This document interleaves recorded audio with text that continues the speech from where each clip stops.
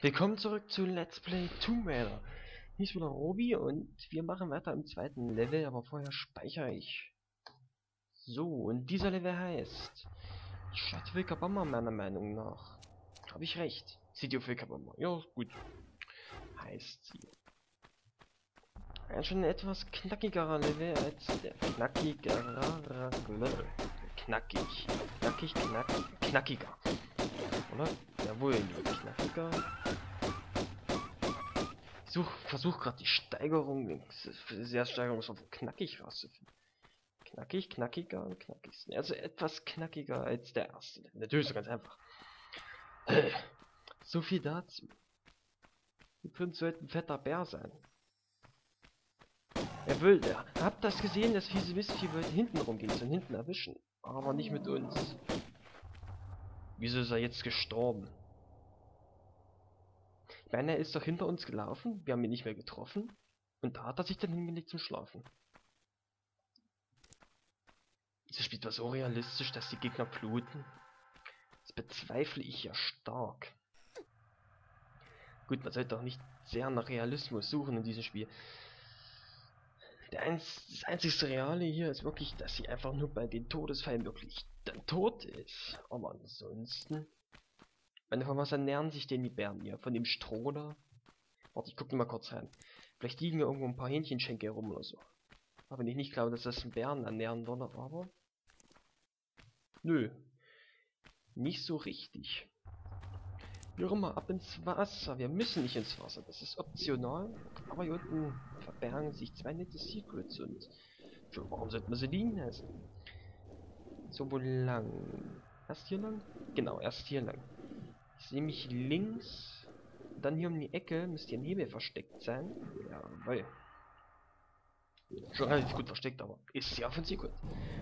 Der öffnet da diese ziemlich unauffällige Tür in einem anderen Raum, zu dem wir uns jetzt hinbegeben haben.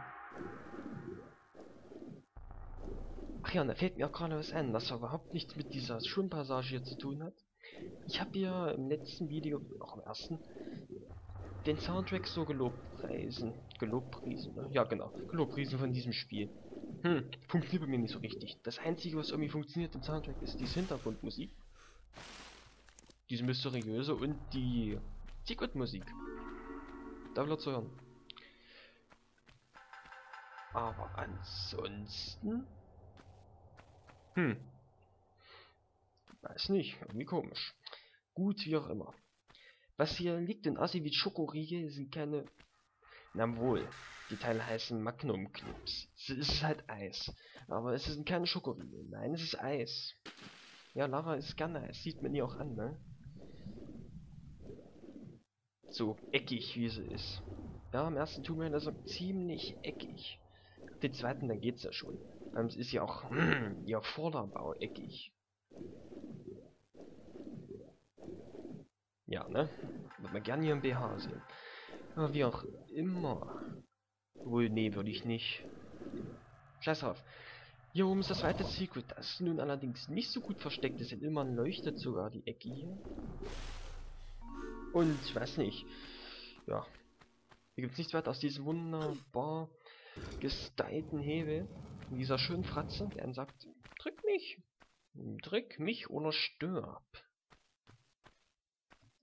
So, da sind wir wieder beim Bären. Der pennt immer noch. Bin jetzt gar nicht so schlecht.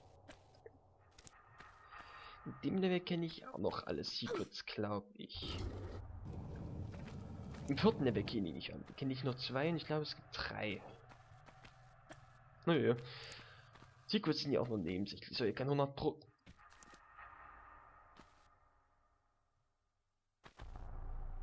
Mhm, ich habe gedacht, da kommt jetzt ein Wolf, so als Strafe, dass man da runterfällt. Anscheinend ja nicht, also geht's einfach weiter. Und diesmal springst du bitte. Danke.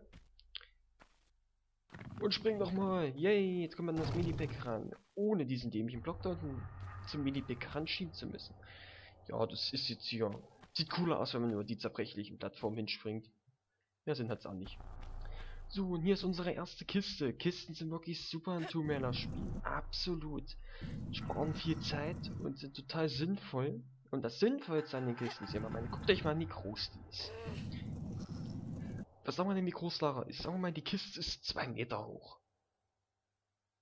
Ist Lara zwar relativ klein, aber sagen wir mal, ist okay so. Für eine Frau. Also wäre ja die Kiste, ne, 2 mal 2 mal 2 Meter. So. Die ist aus massiven, sagen wir mal, Stein. Ich bezweifle ja stark, dass sie oder irgendein normaler Mensch, außer vielleicht Herkules, das war ja auch ein Halbgott, diese Kiste schieben könnte. Weil, nee, ich bezweifle es einfach. Ich höre Batman. Wo ist er? Batman kommt ein Batmobil. Ach ja, natürlich. Angriff von oben. Sind wir aber halt tapfer. Ich eigentlich schon mal gesagt, wie schön man diese 2D-Teile ja aussehen. Man kann ja Figuren sagen, wir sehen ja 2D-Bilder. Wie sie dann immer so angucken, egal wie man sich hindreht. Wunderbar, nostalgisch. So, hier ist ein goldener Vollpfosten, den nehmen wir einfach mal mit. Den brauchen wir noch. Genauso wie das hier. Das Skeleton Key. Und einfach nur ein Skelettschlüssel.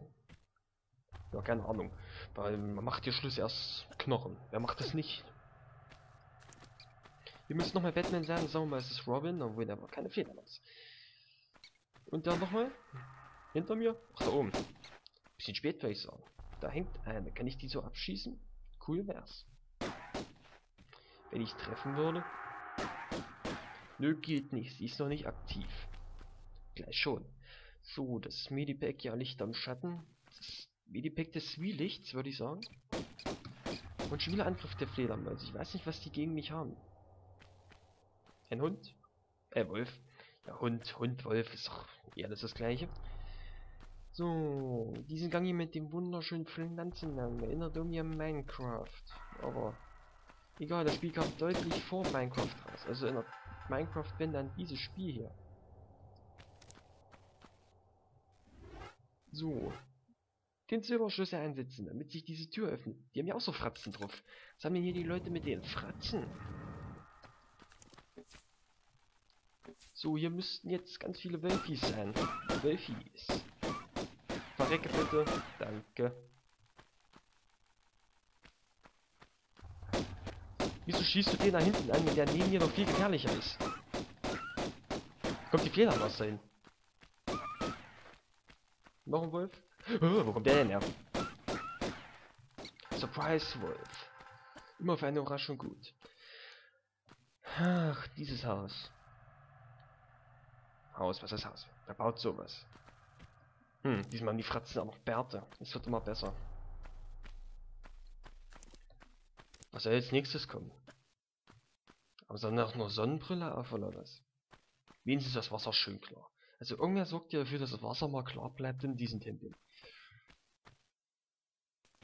Also können wir ja nicht ganz alleine sein. Irgendwo müssen ja auch die Putzleute sein. Hey, kommt raus. Ich weiß, dass ihr da seid. Ich will euch abschießen. Bestimmt habt ihr ein paar Medipacks dabei. Hm, ist auch fragwürdig, wer tut die ganzen, äh, die, die ganze Munition und die Medipacks hier hin? Gut, wahrscheinlich waren hier schon mal Leute vor mir, aber tja. So gefährlich ist hier drin jetzt auch nicht, ne? Alles was du brauchst ist Pistole. Also die Todesfallen gab es ja nun auch noch nicht. Komm noch. So, will ein Fratzenhebel. Der will er unbedingt gedrückt werden möchte. Öffnet unten in diesen drei Eingängen die rechte Tür. Oder wie komme ich jetzt hier runter? Okay. Ich denke ja dann so. Hier, das ist Schrotflintenmunition. Auch wenn das nicht danach aussieht. Sieht er aus wie Kakao mit einem Strohhalm drin. So, wir laufen weiter. Und hier. Gut, ich wollte mich eigentlich drehen, runterzufallen, aber ich habe keinen Schaden genommen. Ist ja alles. Ist ja alles. Ja, dann ist ja alles. So, das Medipack und runter hier. Na gut, wir sind etwas angeschlagen. Ach, schon von den Bären. Ja, gut. Ähm, man müsste hier hochkommen. Halt dich fest. Halt dich fest. Komm, halt dich fest. Jetzt halt dich da fest. Danke. Zu gütig, eure Lordschaft. Zu gütig. Und... Upp. Fledermaus, Fledermaus. Also wenn sie es nichts leisten konnten, aber 50.000 Batmans konnten sie sich leisten, ne? Und hier noch ein Nebel. Und der sollte nun logischerweise natürlich die mittlere Tür öffnen. Will einer durch die mittlere Tür, muss er erst hier da hinten in den Nebel betätigen, dann hier betätigen, ne? Und dann dann stoppt er eh unterwegs und dann war das eh alles für die Katz. Und wir sind wieder hier. Lass uns wieder so geschickt hier runterfallen. Schön mit dem Kopf gegen die Wand. Ich meine, die Frau ein bisschen bescheuert ist, ist ja wahrscheinlich jedem klar. Und hier speichern wir mal. Speichere ich ja wirklich? Ich speichere wirklich. Ich kenne mich. Ich habe schon oft genug das Spiel geladen. Und ja, die Teile sind sozusagen die erste Todesfalle, weil eine Berührung mit ihm tötet einen zwar jetzt nicht sofort, aber innerhalb von einer halben Sekunde, glaube ich.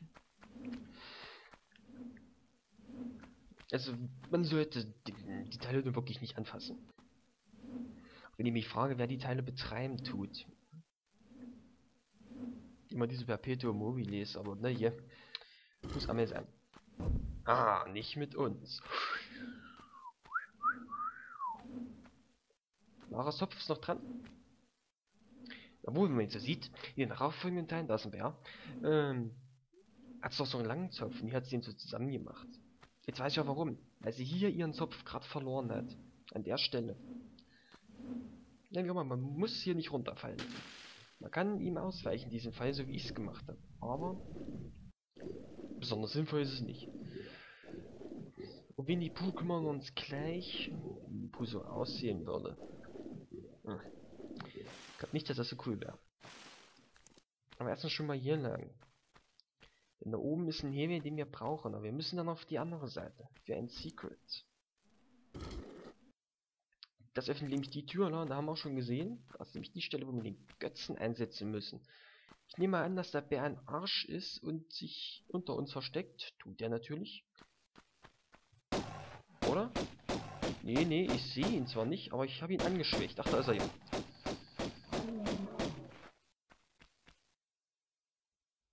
Wie tun sie mir ja leid. Sie haben auch nur Hunger. Was sollen sie was so anders zu fressen suchen? Ich meine, sollen sie die Wölfe fressen? Ich hab gehört, die schmecken gut. Da gehört Bären, fress Wölfe, nicht immer mich. Hier hoch, hier müsste es ein Secret geben. Zum einen gibt es diesen relativ sinnlos, obwohl, ja gut, der ist nicht ganz sinnlos. Der Shutter deaktiviert nämlich die Pendel. Und zwar denke ich, ist das dafür gut, wenn man jetzt diese Götze, diesen Götzen vergessen hat, also dass man da gefährlos, gefährlos, gefahrlos rauskommen kann. Und hier ist ein Sieg und ich glaube, hier geht es relativ steil bergab. Deswegen lass mich mal vorsichtig runter. Ja gut, es hätte schon wehgetan, aber fährt sich tödlich. Und was hier liegt, ist einfach nur... Moment, das sieht aus wie Schokoriegel. Uzi-Clips. Oh, ja, da fehlt mir jetzt nichts im Vergleich mit Schokosachen ein. Beim Magnum ging's noch mit dem als Uzi. Hm, probiert jetzt die neuen Uzis. Extra knackig. Kauft's euch recht zackig. So bescheuert. Scheiß drauf. Muss auch mal sein. Man muss immer mal dumm sein. Dafür kann ich ja im Spiel skillen. Dummes Zeug labern und im Spiel skillen. Das ist gut ausgeglichen, finde ich. So, damit öffnet sich auch diese Tür. Und Leute, das war der zweite Level. City of Kabamba. 22 Kills.